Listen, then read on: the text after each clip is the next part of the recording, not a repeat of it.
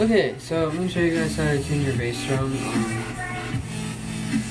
before we get started, I just want to say um, if your bass drum is sounding uh, out of tune or not muffled enough or too echoey or just not sounding the way you want it to sound and you believe that it already is tuned, it's probably because of the environment it, it's, it's in. If it's in like a room with no um, with nothing to absorb the sound, such as padding like my room has, or um, studio studio foam or whatever to absorb the sound. If you're just in a bare wall room where it's just it's just walls, there's nothing to um, anything soft to really absorb sound. It's really just that's what muffles sound. That's why you muffle any. That's why you muffle drums with like a pillow or something like that. So. Um, first of all, you want to make sure that your bass drum, when you play, is in a room that has that in it to get to know what your bass drum actually sounds like, so you can hear just the sound and not all the extra echoes that are coming that are bouncing off the walls. So like right now, my voice isn't bouncing off the walls. First of all, because it's a small room. Second of all, because I have a low voice, but mostly it's because of the padding. So now that you know that, and that could be your problem, and if it's not, if you are in like a studio type of room or a room that doesn't have issues with echoes, that doesn't have bare walls, then obviously you want to tune your bass drum. It might, might sound out of tune, number one, or it's just too echoey because of the muffling and it just is really a long term, just really long extended bass sound that you don't want. You want to cut that off. I understand that. So, um, I've already tuned my bass drum but I can tell you how to tune it. It's not very hard. Um, first, what you're gonna want to do, what you're gonna want to do is, um, okay, let me come around here. If your bass drum is basically like mine, where it's set up and the pedals are all hooked up to it, you're gonna want to unhook. You're gonna want to unscrew or unhook the pedals from the bass drum. You're gonna want to tip it over so that this head is facing up so it's sitting on its um, resonant head. So it's sitting on this head. And then once you do that you want to tune that head by basically loosen all of these lugs to the point where they're where they're um, not touching the rim and it's loose, it's wiggly it's not tightened down at all. It's just, it's like popping out a little bit. Loosen all of them up so that all of them are popped up and the rim, you can move it. Um, if you have something like this on here, make sure that that's facing exactly how you want it before you tighten them down. You want to make sure that those are right where you want them. So you want to line that up somehow. Sometimes I use a drumstick to, you know, see if it's straight, kinda. That can help. Um, or if you just got one, wait and put it on after it's tuned. Alright, so now what you want to do is you just want to make sure these are what you call finger tight. Usually that's how you tune any drum is basically you want to start by making them all equal, which would be finger tight. That's that's the best method to getting them equally tight without using any any special device or anything like that, etc. So um, the best way to do this is by doing the star pattern. If you know what, if you don't know what that is, it's I'll use uh, this tom to show you.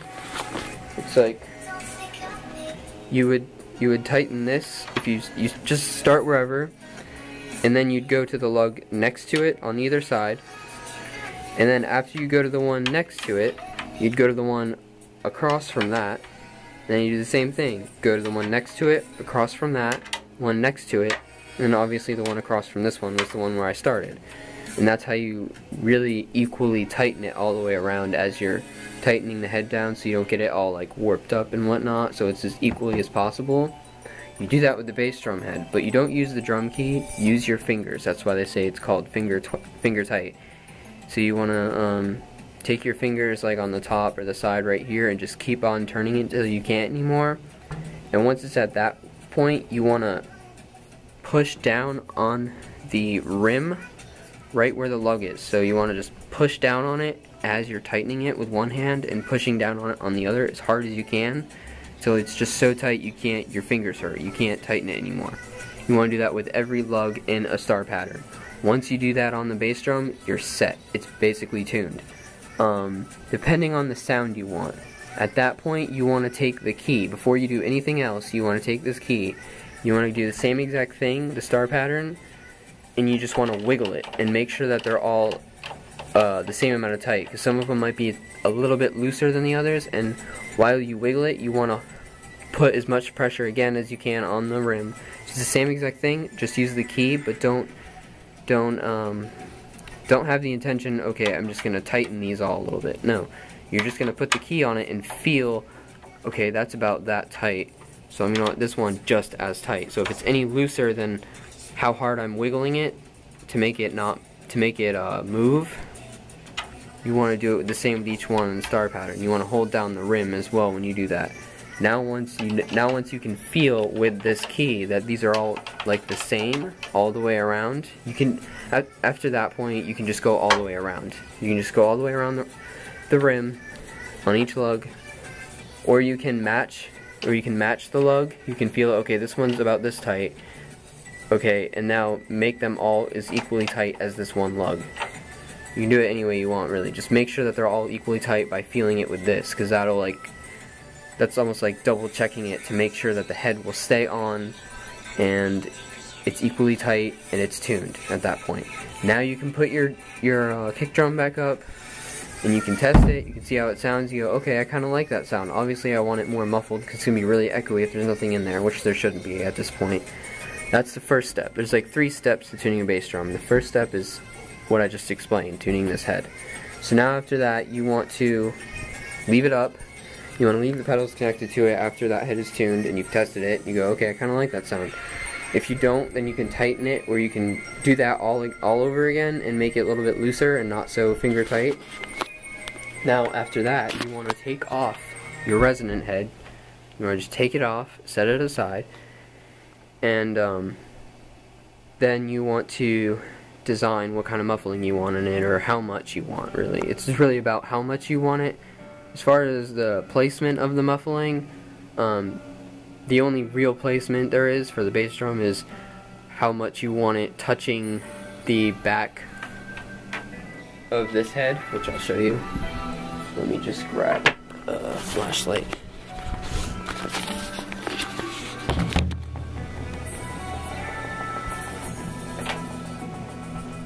Alright. So, see how I have a pillow in there. I tried duct taping it to the head so it would stay if I were to move the drum, or just to make sure it would stay to keep to keep it where I want it up against the head, which didn't work out too well. So what I'm gonna do is uh, show you what it sounds like now, and then I'll, I'll record it what it sounds like now. I'll um, stop recording and I'll take another take of after I or while I am retaping this just to show you what I do, how I muffle it. So once you do, once you um, have that head off, then you want to put your muffling in and you see, so I don't know if your head has this, but if it does, mine has, mine is a Tama Imperial Star bass drum, it's like 22 inch, and it has like a muffling kind of thing built into it. See, you can see that, that, that muffling, it has like a, an extra uh, ply a ring all the way around the head and that's sort of where I put the uh, pillow and a folded sheet up against it right up to that like line. And then I put the pillow a little bit higher than that. So basically right where the chain is on my pedal. You can see that? So that's basically how I had it but it sort of started to slip down. But honestly I really like the sound of my bass drum right now. The only thing I'm afraid of is that it keeps moving or if I were to go play a show and, I, and it gets moved around a lot before it gets set up on, on stage or wherever I set it up.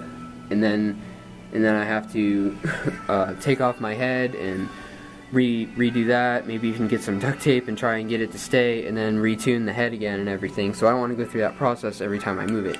So really the main goal is just keeping your muffling in your bass drum if you don't have a lot of money. Um, what they do have is a, a Velcro, Velcro padding. I think by Evans sells them, and you can put the Velcro in your bass drum to keep it from staying. Well, I don't have the money to go out and buy that, so I would rather just use a nice pillow with some duct tape, and it works great and it sounds great. So I'm gonna do like a before and after. So I'm gonna record. I'll show you what I do to change the muffling just to keep it from moving, and then we'll record after just to see if the sound changed a lot or a little or if at all. So here we go.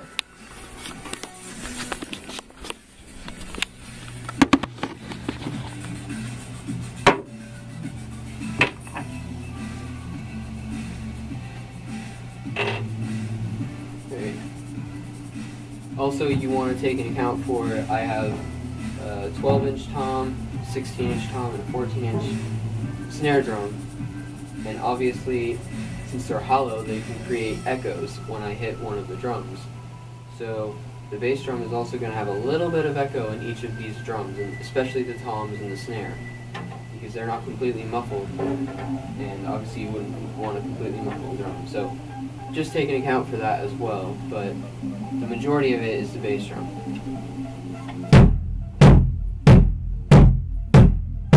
I like it. It's a nice, loud, solid punch. It's low. It's exactly what I want.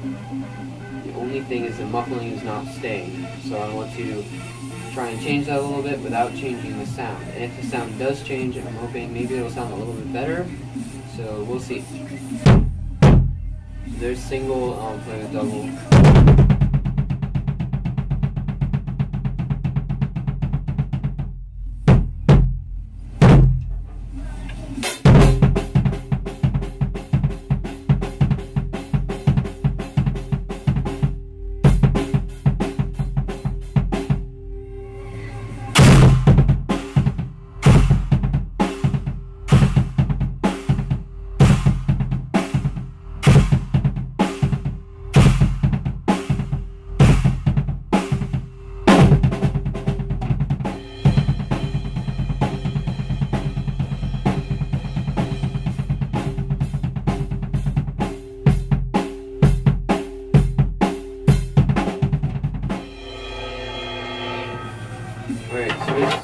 Bass drum sounds like currently.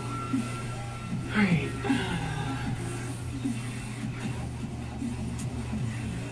I'll be right back. I'm going to take off the head. Alright, so now I took off the resonant head. So once you got that off, in case you can't see, I have an old pillow, and underneath that, I have a sheet which I tape to the pillow, so that's secured. Now the only thing about muffling really is just to make sure that it's secured and that it's in the center of the bass drum. And depending on the sound that you want, you're gonna want it again. I want it against the head you get a better sound. Um, not too much, but a little bit. So for me, it's easy because I have that little ring. So that's kind of where I know where I want it up against the head, around that area. So I just kind of put it right up against that. So it did slip down a little bit. Alright, so I'm just gonna leave that right there. Alright, I'm gonna have to put the camera down. Um, is that? Is that gonna work?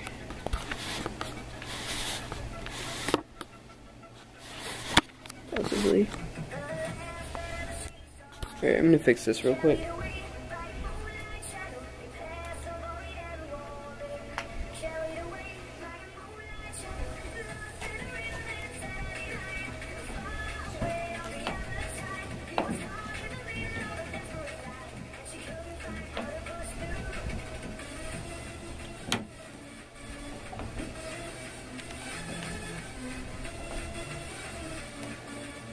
Alright, so like when you're when you're trying to get it up against the head, there's a little bit of a, uh, I guess a ditch you can say, between the head and the edge of the actual drum shell and the head. Kind of sinks in a little bit. You really want to tuck in uh, the pillow or whatever it is in that, so you know that it's it's as far up against it as you can, so there's no, you know, spots where the sound can can get in. Once you get that nice and tucked in, make sure that it's still high enough to where it's touching up against the head, just like, um, in case you don't have that ring, which you probably don't. Um, I don't know if you do, but it's probably about an inch or so maybe a little over an inch up against the head, maybe two inches, depending on what sound you want. But I'd say it's about an inch, inch and a half at the most, an inch and a quarter maybe, um, touching the head. So basically, once you got that about a little over an inch touching the head and tucked up against it, you want like a little bit of a layer of, of muffling, not just one thing at the bottom, depending on the sound that you want once again. So once you got that, which I basically fixed it, it doesn't take that long. Um, now I'm just going to show you how I'm going to tape it as opposed to the way I taped it before because it's just going to keep coming off and sliding down and that may change the sound and then maybe it's not going to stay secure if I move around and play other places. So I'm just what I'm going to do is just use duct tape. That's pretty much the best tape you can use for this. And I'm going to tape from the muffling over top of the muffling and just go all the way around the shell to about the top. And then I'm going to take another piece and do the other half. I'm not going to do uh, one whole like circle because if it starts to come off in one spot, then that whole thing is going to come off. So you want to do like maybe a half on each side. And I guess if you're not sure what I'm trying to say, I'll just show you. So basically I'm going to start in the middle of the pillow.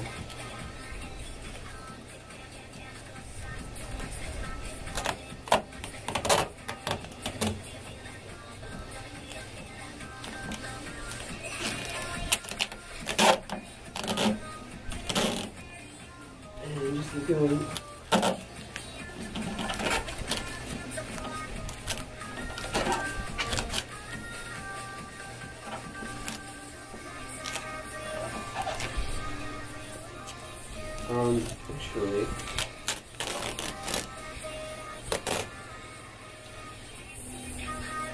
I'd rather not tape over the the screws for the lugs, just in case you need access to them or for whatever reason. I'd rather keep this nice and clean, as clean as possible.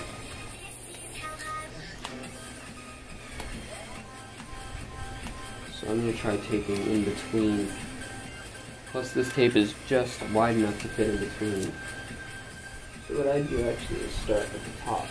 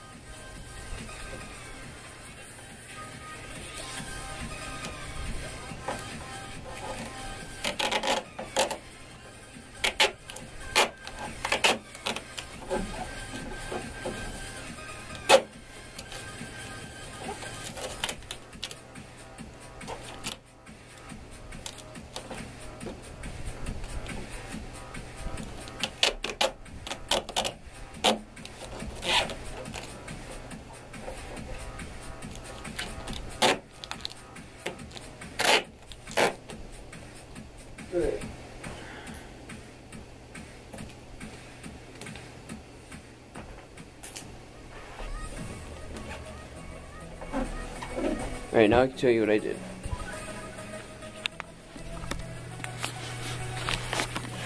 So I started right here. and then I went in between all of those to keep it straight. I tried my best. And then I stopped right in the middle. Right in the middle of the pillow. Now I'm going to do the same thing on this side. Um, so now it may, it'll probably start to, you know, come off when there's putting pressure up against the head and it's pushing up against the pillow. If I'm like doing really fast, you know, 30 second notes on the double bass drum or whatever. Um, but it's not going to come off all the way up here, so it's going to still stay somewhere along this line up against the bass drum. That way I'll be able to move it. Um, it shouldn't change too much how, how it sounds. If it really does, then that'll be a new discovery for me, so. And that'll be on added to my list of don't do's for drums. So I'm just going to do the other side to this real quick, so I'll, I'll be back. Alright, so as you can see I have the other side, other half taped all the way up. I did a little bit better on that one and it actually looks pretty pretty even for the most part. And now hopefully the muffling will stay and I know the muffling is is um, a sufficient amount because I've tried it and it sounds great. Have you heard before? As you've heard before in the other in the first recording. So now the last step in this is to do the resonant head and make sure that's tuned, which is basically the same as the batter head. The only difference is with the resonant head, you don't really want to worry about how tight it is because you're not worrying about getting the tone out of it so much as you are just sealing the front part of the drum to contain that, that sound. Um, if you've seen a lot of uh, famous drummers in studios do recordings, they will actually leave the front part of the bass drum open just to get a good sound because they are they you already have the sound you have at this point. The only thing you want is to contain it because it's not it's such a short uh, sound. So you could even just leave it like this if you prefer. It all it all um, depends on your preference of sound. But for for majority of people and for my preference, I would prefer to have the head on and tuned. So to tune it, obviously you need to line up your logos and everything. If you really care about, you know, all of that, you want to line it up first and slowly start uh, making sure that these are all about enough to the point where it's touching the washer. They're that far in on all of them equally so that the head, so that the um, the head or the rim can't move and that this is lined up. So you can, well, so this, so the rim can move, but the head can't and you can um, adjust that. Once that's adjusted, I'll I'll um, finger tighten them just like the other head, but not so tight, just mainly with my fingers. So I'm gonna have to come back and show you after I'm done. I can't really hold the camera at the same time. Alright, so now I got the head on and all of the lugs are tightened enough to where they're basically touching the washer on all of them, but it's still it's still loose. But it's it's on there enough. So now basically you just want to make sure that that's lined up. You know, just keep kind kind of adjusting it. Some people don't even really care if the logo is lined up or not. I do because I have other things on there. Um, I don't care about it being perfect, but as long as it looks straight to the rest, to everyone else. Alright, so once that's straight, now you want to go around and finger tight as tight as you can on all the lugs. It doesn't matter whether you go in star pattern or if you try to match one. It doesn't matter which method you really choose as long as you feel that each lug is about the same tight all the way around. Um, once you're at that point, you want to use your foot, not your hand, because your foot can, is able to apply a little bit more pressure than your hand. If you're like sitting down, I've noticed that you can see more wrinkles with your foot, so that way you know um, which ones are not quite as tight as all the others, and those are the ones that you want to kind of focus on as you're going all the way around, making sure that they're equally tight. Once you see no wrinkles and you feel that it's it's pretty solid, it's um, it's solid and it's it um, just feels tight to you then you want to uh, take a drumstick or something and just kind of tap around and make sure you get the sound that you want. And then once they all sound equal to you and it sounds good, then you can test it. So we'll go from there and um, I'll just start finger tightening these.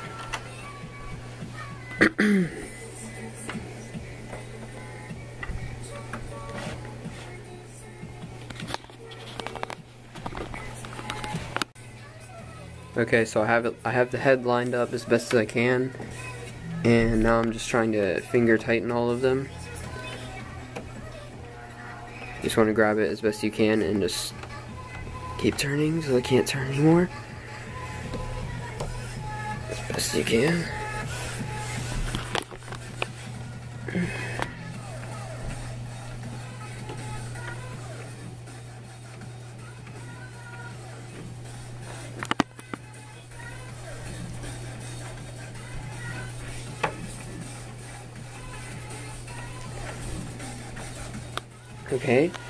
You go all the way around, you can kind of, you can use your fist, you can use your thumb like this to go all the way around and feel how tight the he head is near each lug. Now, what I'm going to do is use my foot like I suggested. See if you can see any wrinkles.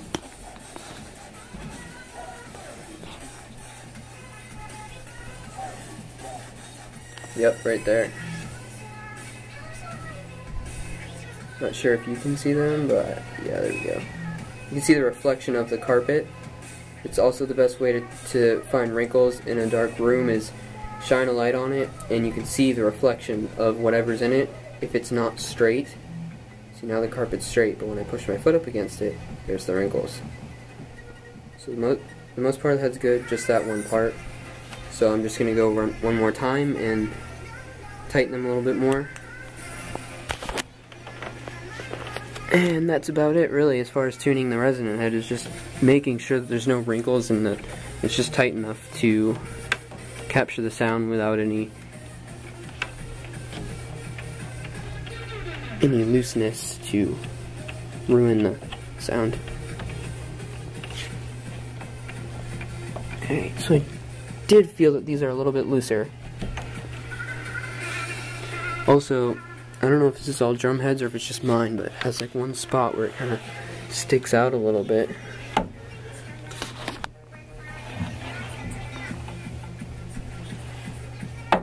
And it goes right here. That's where the wrinkles were. Alright.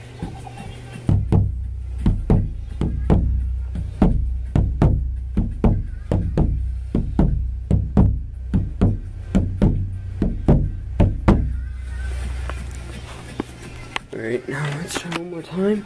See if there's any wrinkles. Now look at the reflection here. I'm pushing my foot up against it, no wrinkles. It's still, that carpet line is still straight. See that? There is one there though. But um, keep in mind, if your head, like my bass drum head, has a ring going around it, um, that can also cause a little bit of what sounds like might be the head itself is loose or it's wrinkly when you when you put pressure on it near the lug. It's actually not. It's just the little the little um, pocket shape it makes with the ring on the other side. And it's just hitting that ring. But you can't, no matter how tight you get it, it's not really going to go away. So don't let that um, confuse you. Alright, so I'm just gonna like double check with the key and go all the way around with the key this time just to make sure that they're tight and that there's no wrinkles and the sound is good and I'll show you what it sounds like the after.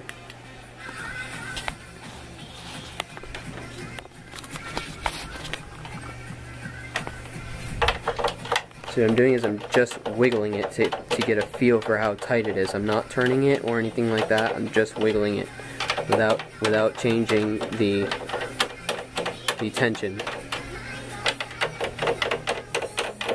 And if any of them are looser than that, you'll be able to tell because it'll move a little bit. So you're kind of just messing with it, you're kind of just jiggling it, any, any little looseness out of it.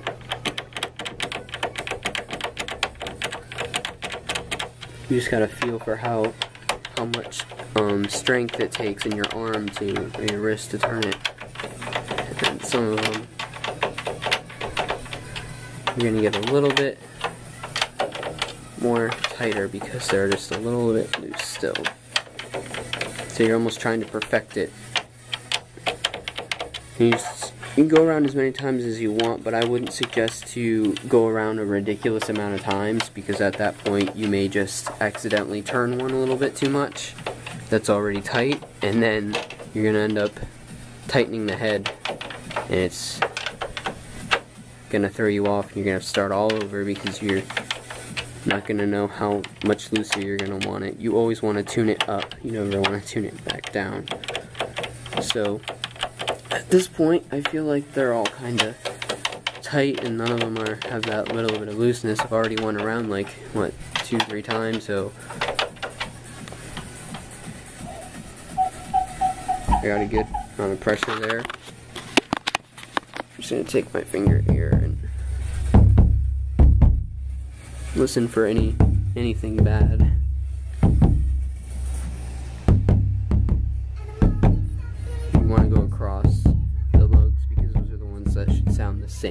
Not so much when you go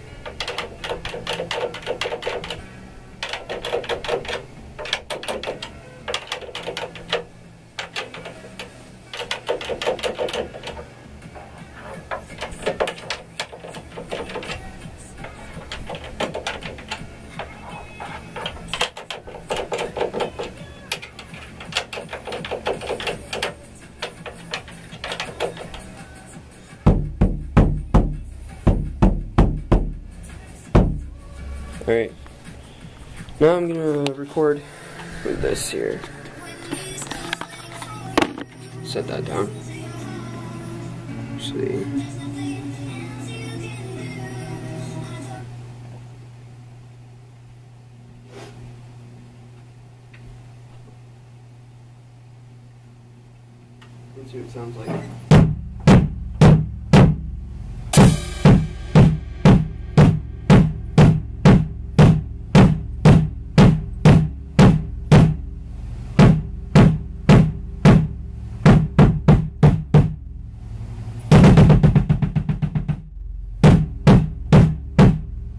So now that the muffling is more up against the head, like up higher and more in tucked into between the head and the the edge of the shell of the drum, I think it captured all that sound that it had before. So now it's a more tighter, um, shorter kick, but it's still it still is very low. So I I really like the sound, and as I break it in a little bit more with the muffling, it's probably still going to move a little bit. It's probably still going to move a little bit. And as I do that, it'll kind of uh, loosen the sound up more, so it'll probably be a more longer uh, sound instead of a quick thump. It'll probably be a bigger boom. But other than that, this is pretty much what it sounds like.